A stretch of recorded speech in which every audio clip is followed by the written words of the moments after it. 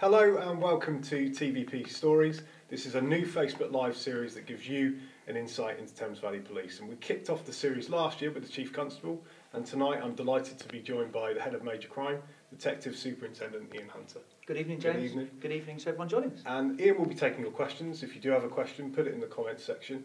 We'll get to as many as we can. Thank you to those that have already put their questions forward. So tonight we'll be split into two sections. Firstly, we'll be looking at major crime, their investigations, and Ian's career. And secondly, we'll be looking at how detectives investigate a murder. But first of all, Ian, it'd be good to know how you joined the, the police force. So my early years was spent uh, on a farm, part of a hard-working farming family, uh, and that gave me a real sense of adventure, to be honest. Uh, I enjoyed sport. I played a lot of football and cricket, uh, and that kind of took me in a direction um, towards the military. I always, I always really wanted a military career at that stage. Um, I wasn't particularly academic at school. I didn't work hard enough, uh, or as hard as I should have done. Uh, probably not the best role model, to be fair. Um, but I ended up joining the Royal Navy uh, when I was uh, 17 and uh, served in the First Gulf War in 1991 and in the former Yugoslavia a couple of years later. Uh, really enjoyed the, the camaraderie, the teamwork, the travel, uh, and actually had some great times. It was really kind to me. That's where I met my wife. Uh, and uh, on leaving after six years, I was looking for another career that would give me that, uh, that sense of adventure, um, real kind of diverse career with different opportunities, etc. So the police really was the only option for me uh, at that time. I was really keen to do that. Uh, and I was accepted by Thames Valley Police and joined in June 1998. And then you became a detective. I did, yeah. So I spent two years at Milton Keynes as a uniform police officer. Really enjoyed working there, really busy. Um, but I knew that I was particularly enjoying investigating the more serious crimes. And so uh, I went on a attachment uh, to CID as a probationer at that time. And, you know, that made my mind up. Uh, I really enjoyed it, uh, was working on some really serious crimes, uh, and was fortunate to get selected for a position at that time. Uh, so joined as a detective constable uh, in Milton Keynes, uh, and then since then I've stayed as a detective um, at every rank. So I'm really pleased with that, having having done uniform and um, detective, and that's something I'm really proud of. And now head of Major Crime Unit. Can you explain what the Major Crime Unit is? So yes, so uh, the major crime unit are there to investigate some of the most serious crimes that we have. So uh, we investigate uh, murders, uh, manslaughters. Um, we also uh, have the responsibility for the initial response into kidnap and crimes in action uh, as well. So um, in addition, we would investigate any other uh, crimes that would benefit from setting up of a, a major crime unit investigation. Uh, they could in- include kind of corporate manslaughters, uh, child sex, uh, sex exploitation, or firearms offences. And there are many ways now to become a detective. Yes, so you've got the traditional route that I took, the police constable to detective constable. Um, that's the route that's still traditionally there. We're always looking for more police constables to become detective constables and join us in the detective side of things.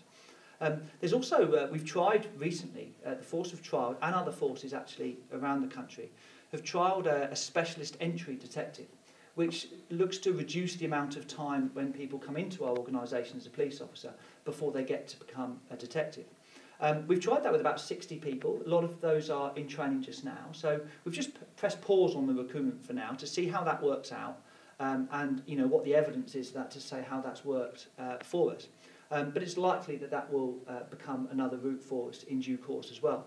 And of course, it's not just about being a detective now in terms of the investigative world.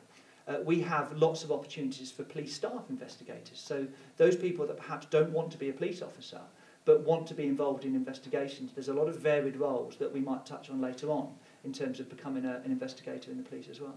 And we're going to take some of your questions now. Um, Susan asked, why are offenders often bailed? So, from a major crime perspective, actually, it's quite rare that the offenders are bailed in cases of murder, for example. Um, we would do all that we can to investigate thoroughly, um, and if we arrest a suspect, we would try our hardest, if they're the right person, to you know gravitate through to um, charging that individual. But on occasions, there are reasons why you would need to bail. Um, that might be that at that stage there's insufficient um, evidence to charge at that stage. There might be a number of further inquiries that are left to do, and traditionally that might be things like forensic results that are awaited. We might need medical statements and better understanding about how somebody died. Uh, we might have some witness, out, witness statements outstanding, or indeed just the sheer amount of technology now. Some of that needs to be reviewed and assessed. Um, but of course, on, on serious cases, even if we, we're bailing somebody, we can put really tight bail conditions on to make sure that we are looking after um, any potential uh, witnesses, etc., or to keep people away from a particular area. And some of the viewers have also asked and are concerned about the UK murder rate, which we've seen a rise recently. Yeah, so um, last week uh, saw the uh, latest figures released for homicide rates in England and Wales.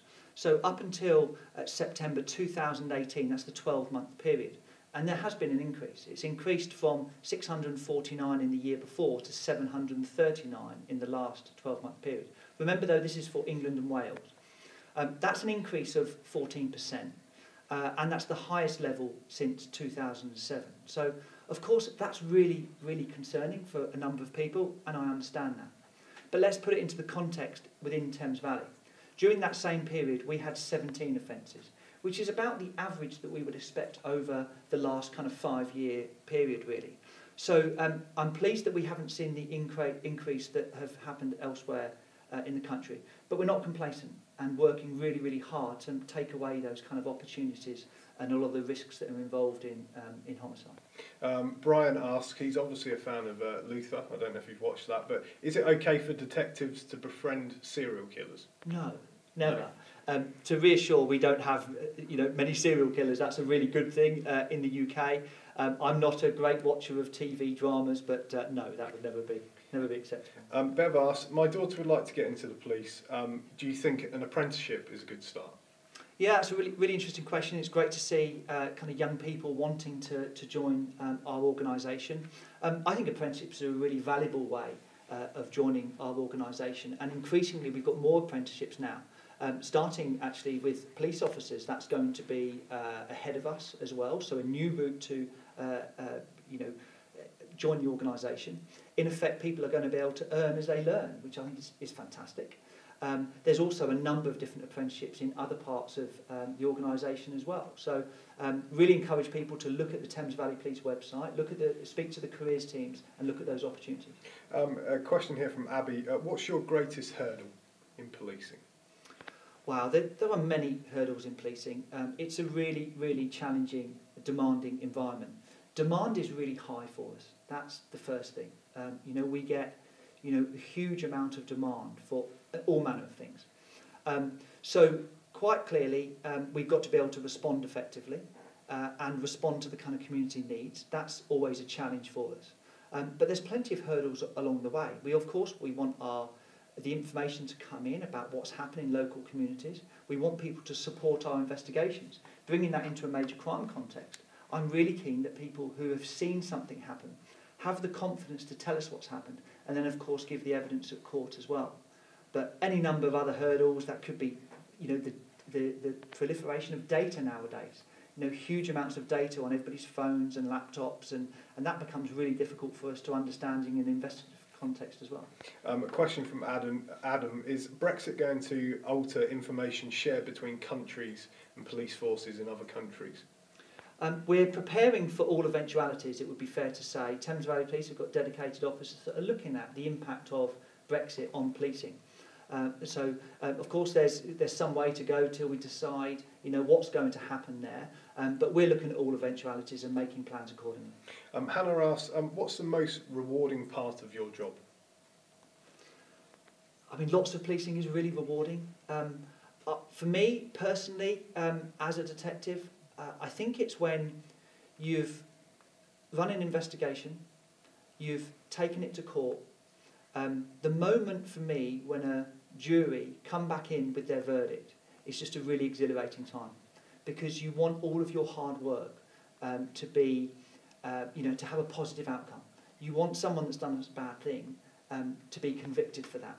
And of course, if we got to that stage at court, that's what we believe. Um, so, of course, it's very satisfying when you get those outcomes and people who have done really bad things are locked up for a long time. Uh, that's being a detective. Um, but for me, the most rewarding is when you're able to provide some reassurance to the families of victims and victims themselves in other cases outside of murder. Um, that's really what we're here for. um, and to, to just try and make a bit of difference to their life um, is hugely rewarding. And now head of major crime. Is this your dream job? Yeah, it sounds a bit corny, I suppose, but yeah, it absolutely is. Um, I, I love being a de- detective, really proud to be a detective.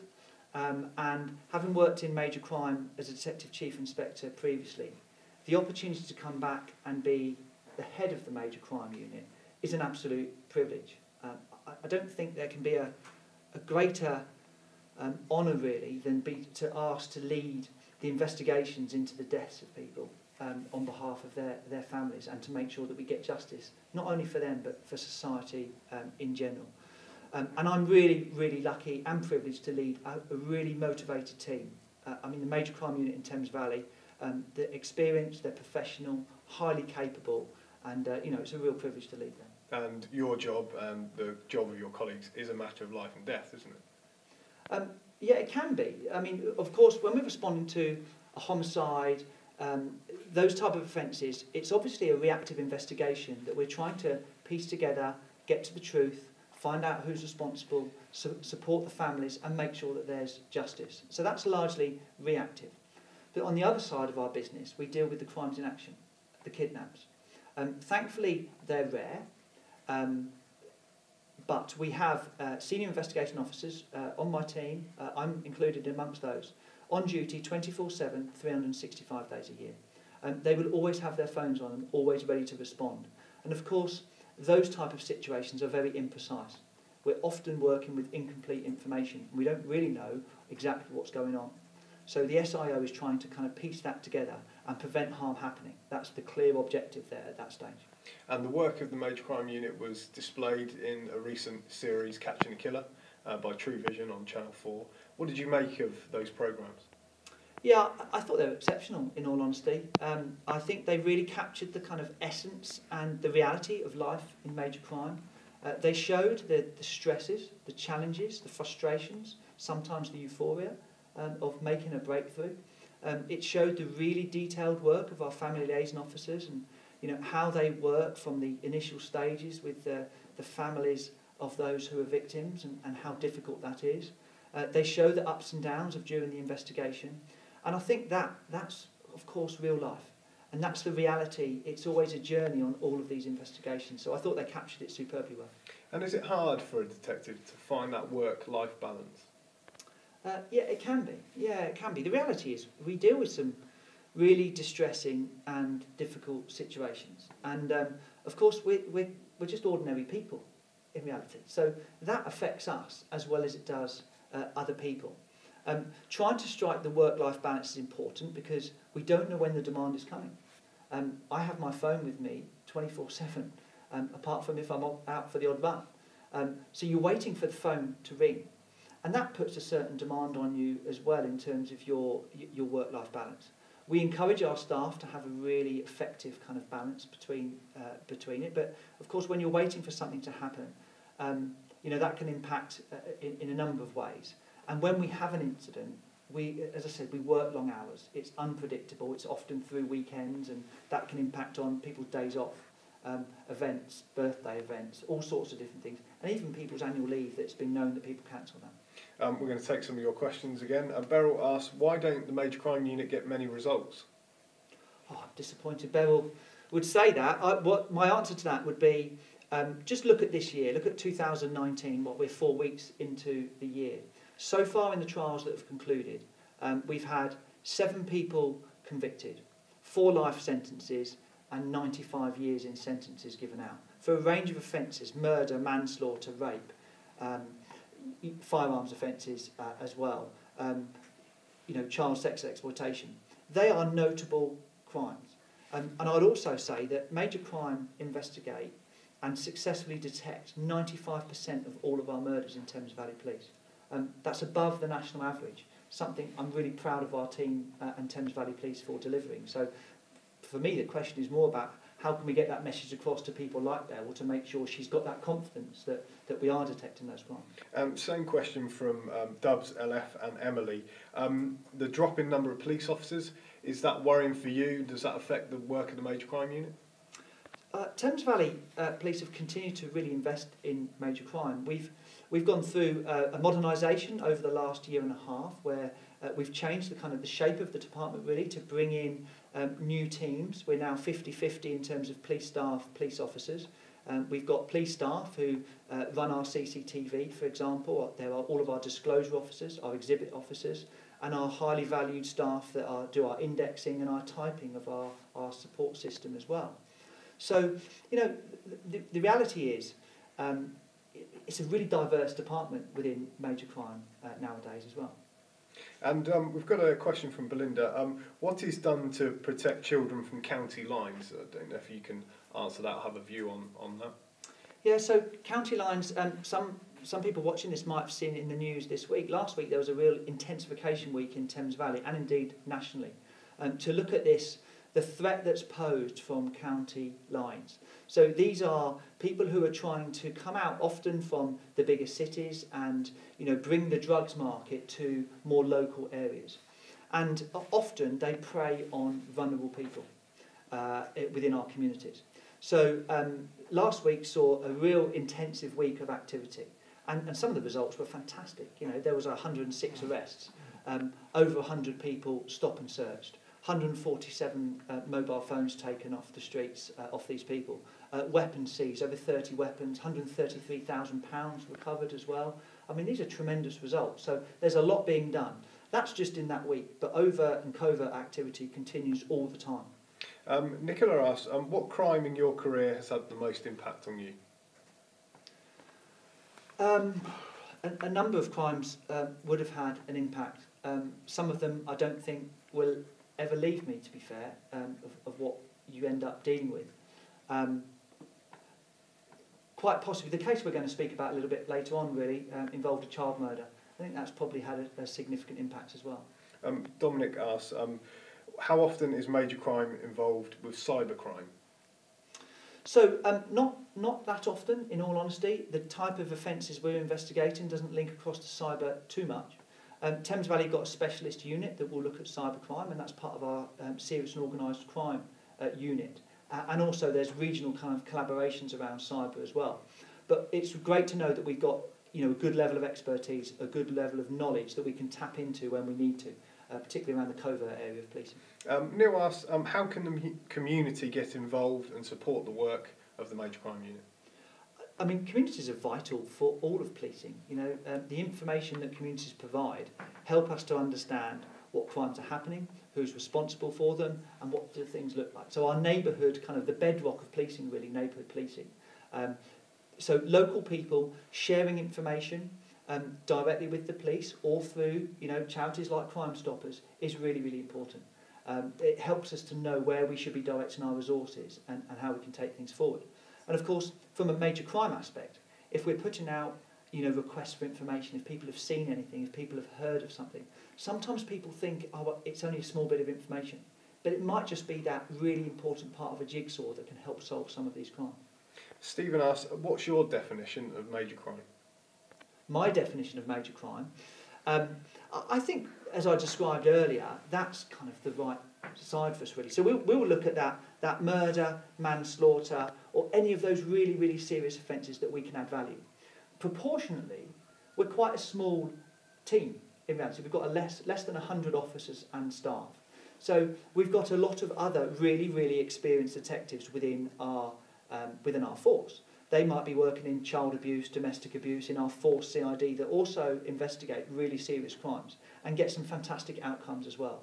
So I kind of look at it to say, well, what is the value, the, the, um, the value that is added by a major crime becoming involved um, before we would, we would look at, you know, how do we assist? Michael asks, um, would, uh, t- uh, would forces like TVP benefit from a centralised national CCTV agency? Um, interesting question. Um, CCTV is an interesting one. I'm, I'm not sure a national solution would be the right way to go. Uh, we know we see far more CCTV than we've ever seen before. Um, in the past, there used to be a couple of cameras when I was growing up, maybe in a kind of town centre, that type of thing. But now when you imagine CCTV, it's all around us. You know, people have got it on their dash cams, it's on cyclist head cams, etc. Um, you will see it on buses, you will see it on lorries, delivery lorries, etc. Lots of houses have it now as part of their doorbell system, for example.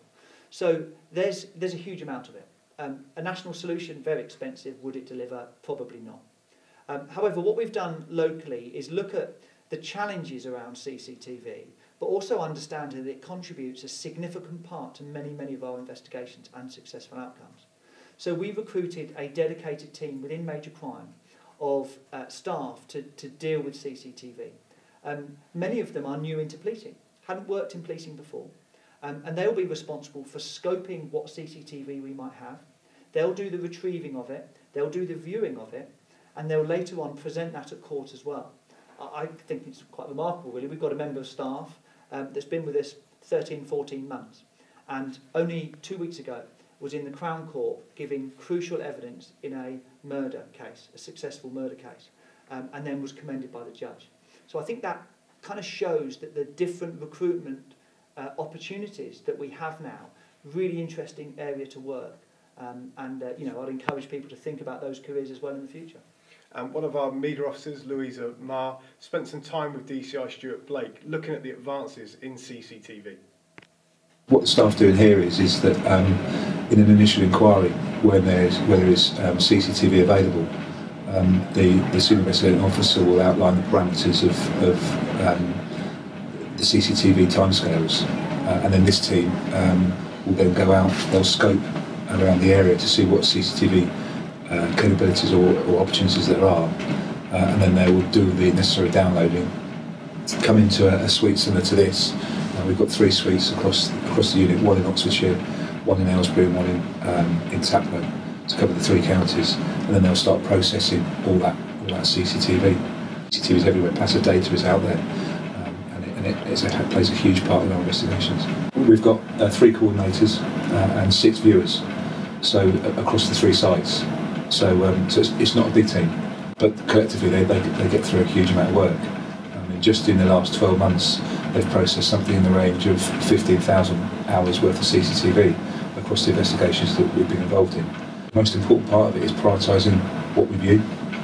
Um, what, whilst we've got it, we don't necessarily have to view it all, uh, and that's the decisions that we, we have to make, very careful decisions that we make.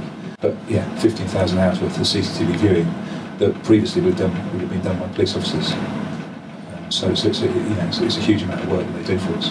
The initial response will be very much guided by whoever's in charge of the investigation. Um, so, so we will be looking to try and maximise the CCTV opportunities to understand what's happened. If the incident itself is covered by CCTV, that's going to be our starting point to understand what, what has exactly happened. There's been many cases in the last couple of years that without CCTV, it would have been a very difficult, very difficult for us an investigation team to actually prove what, what's happened. Um, you know, it doesn't always answer all the questions, um, but it, it plays a huge part in, in modern investigations.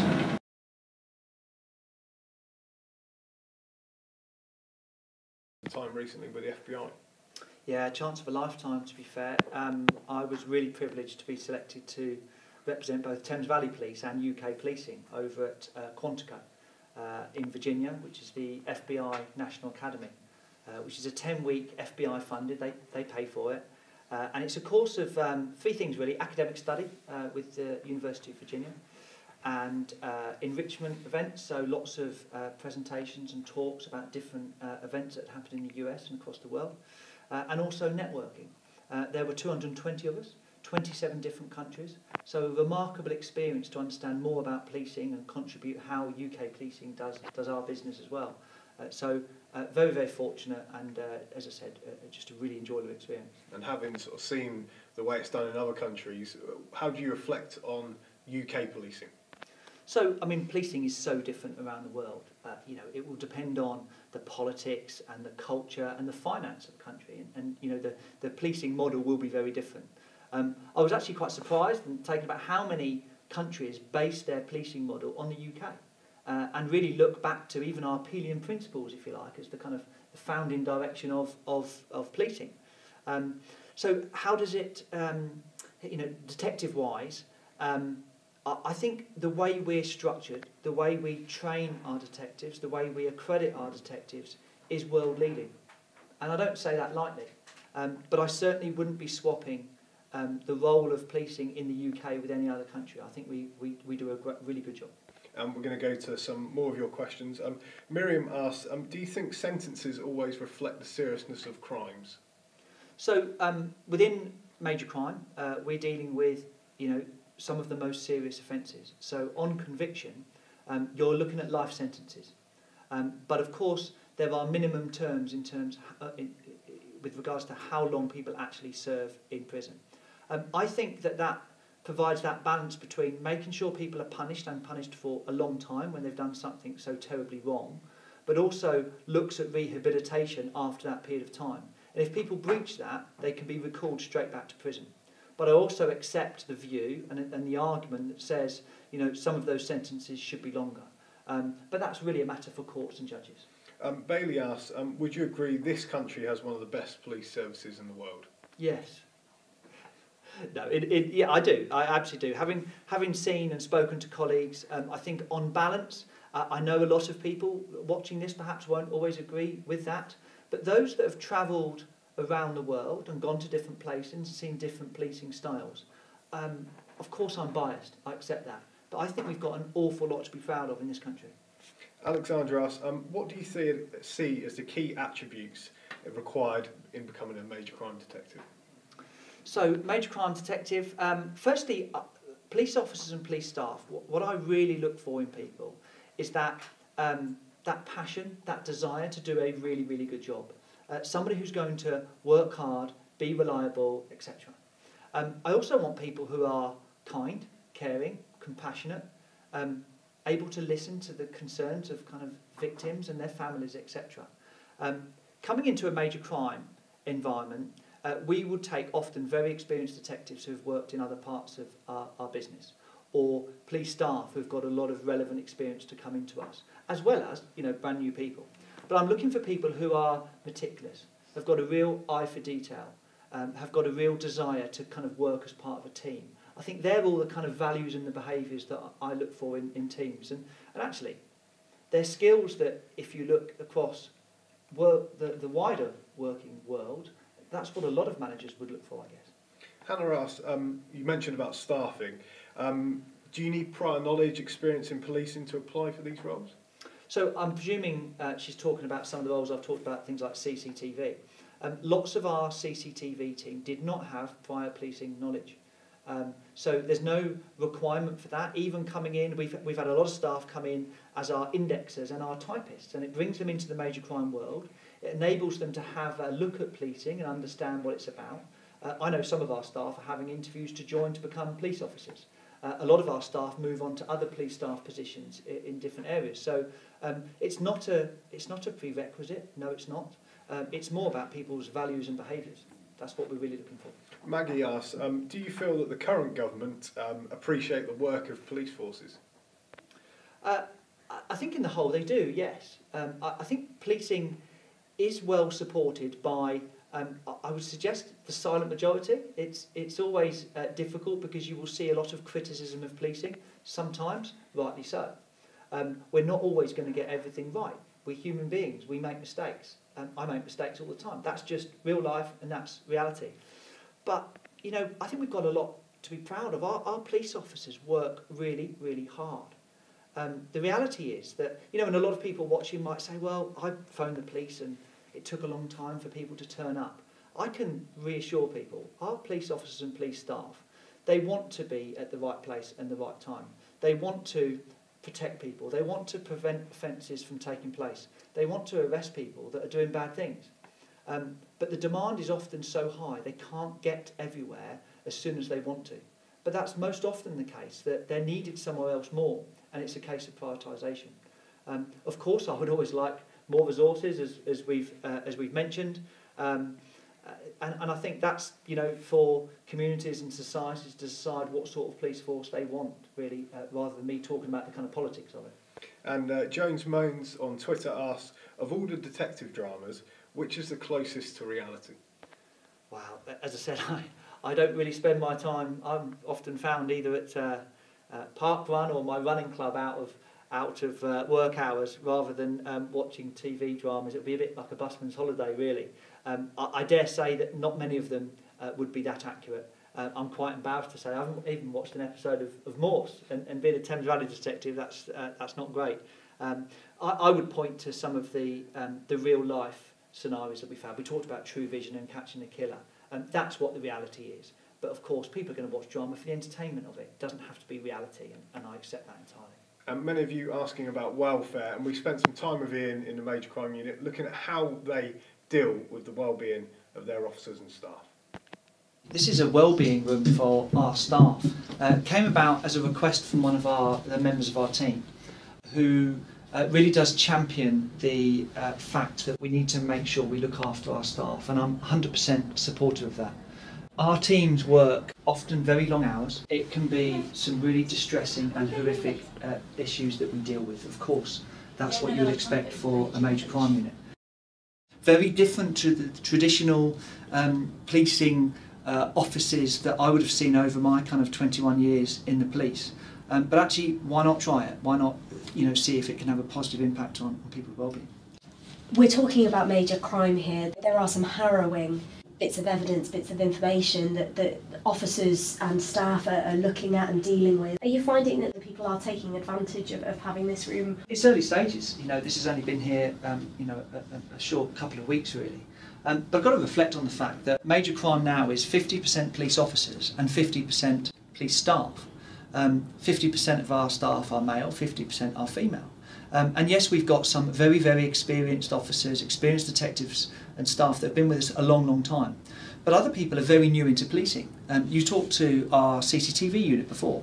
Uh, some of those have only been with us a year, no previous experience of policing. So, of course, when they're looking at some quite horrific material, I want to pro provide a space where they're comfortable to go just to unwind a little bit. Um, and actually, I think we've got to try new methods such as this um, to encourage our staff to think about their well-being uh, and make sure that the long careers and the difficult situations they deal with, um, you know, don't become too stressful. And of course, we've got the blue light champion as well, uh, which I believe was involved in. Yeah, and they've been magnificent. They've been absolutely fantastic in really changing the culture of policing to, to kind of soften that style and make it uh, more okay to say that you've got a problem or you're finding something um, really difficult. And the team aspect of major crime um, is absolutely huge. You know, um, as I said, we work long hours. Uh, we work on some really, really difficult cases. Uh, so to have suitable spaces is, is for me, um, a, a really um, sensible way forward. Okay, and now back to your questions. Um, Bailey asks, how do you cope with the role and how it impacts on your home life? Um, yeah, I, I, I, guess I try and separate my um, my work life from my family life. Um, I don't um, I don't actually socialise a great deal with police officers outside of work. I like to uh, spend time with my family. That's really really important to me. Um, love my sport, as I said before, uh, and do a lot of running. Um, so I, I, kind of my thinking time and my escape, uh, I guess, from my work is a lot of running. I do a lot of marathon running, etc. So I think that's probably how I separate things um, away really. I think that's a healthy thing to do. I think it's really, really difficult to take your work home with you all the time. The phone is always there, but being able to kind of switch on and switch off from work, I think is really important.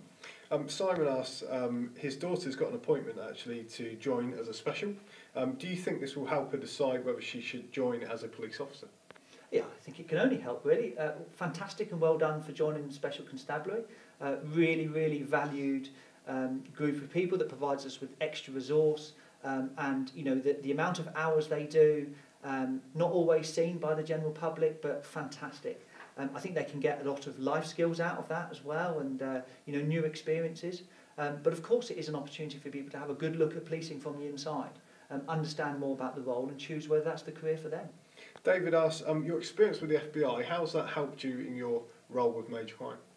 So when I um, when I did the academic side of things, I did um, violent crime, behavioural science, and crisis negotiation. I thought they were the three areas that were close, most closely aligned to my work. So it's given me a real insight into a lot more of the, the very serious crime that we hope doesn't come back to the UK. Um, but you know the, the studies that we did around behavioural science, serial killers, etc., was really really interesting. That's given me a lot of links um, in terms of the behavioural science unit in the FBI, which um, I've already used. Uh, I've also had that network of people that I talked about. I've got about 240 people now from my course that I can just pick up the phone to. But in addition to that, there's 50,000 people that have done the FBI National Academy. And that creates that association network around the world. And I've already used that in another investigation uh, many, many miles from, from the UK um, to provide us with some assistance. So I think there was a lot of value. Trish, um, sorry, Tash asked, um, how did you become the head of major crime and what inspired you to be a police officer? Um, right, two very diverse questions there. So, inspired to be a police officer, that sense of wanting to help people and having a career that, you know, every day would be different. That kind of adventure and excitement that I talked about before, that was my inspiration behind it. I also remember actually some, some beat officers um, in, uh, on the farm that I grew up on, um, always being kind of uh, interested in what you were doing, and I was kind of quite intrigued by their job from uh, a young age. The second part of the story was about. Um, what um, inspired you to become a police officer? So that's the police officer, and then I think there was a question about uh, major, major crime. crime. Um, how, what, did I, how did you become? Of yeah, so um, so I've been a detective superintendent for five years. Uh, worked uh, had a couple of jobs before that, uh, working in counter corruption and working in counter terrorism. When the head of major crime role came up, um, I was very very keen to make my uh, interest known that I was keen on this role in particular, having worked in major crime before.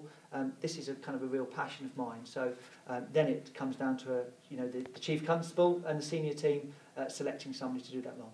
Holly asks, um, what motivates you throughout the horrific things that you see and, and do in major crime?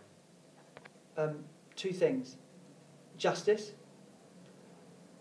supporting the family. That's what it's about. We can't have people getting away with the most serious crimes. Um, delighted that we solve over 95% of those. Of course, we'd always like it to be 100%. Of course, we would. Um, but getting justice is really, really important. That's good for, good for the family. It's good for the community that it's happened in, and it's good for wider society as well. We've got a couple of um, silly questions if you're up for answering those. Um, Nick has asked, um, would you rather uh, fight a honey badger or five large chickens? Wow. Um, so the policing side of me says, um, I'm head of major crime. We don't want violence. Why do I need to fight them in the first place? So I've got that going on in my mind. Um, the second part is, as a runner, um, can I outrun them if I needed to? But then people watching would say, well, why are the police running away? Um, a honey badger, um, I think, is quite a, an angry animal. Uh, I'd probably take the chickens if I had to. Um, and a question from Jim. I think this is related to football. Um, do you prefer 4-4-2 or 4-3-3? Ah, that's uh, yes, right. Football. Uh, uh, why be so inflexible, Jim? Um, there's somewhere in between there, but 4-3-3 probably. Um, Sam asks, what's the best um, advice that you had in your career? Best advice. Um, best advice was um, be a good listener, be kind, and be caring. That's really important to me. Uh, and another bit of advice that I've always borne in mind, I hope I've borne in mind, uh, be kind to the people on the way up because you might just meet them on the way down. And she's got an assessment in two weeks, she says. So, is there anything else you can ad- advise her for that assessment? So, if you're doing a police assessment, um, or actually any young person going for an interview, um, I would say show personality. Um, employers, managers, leaders, um, they really want people that uh, are keen to learn, will work hard, are ambitious, but are sensible, are good communicators, and they care. You know, all of that, those skills, whether you're going to be a police officer or work somewhere else, um, I think they're just good life skills and behaviours to have. So, but very best of luck. Thank you for all your questions. This is ends part one, but join us in about five minutes for part two, where we're going to look at how detectives investigate murder.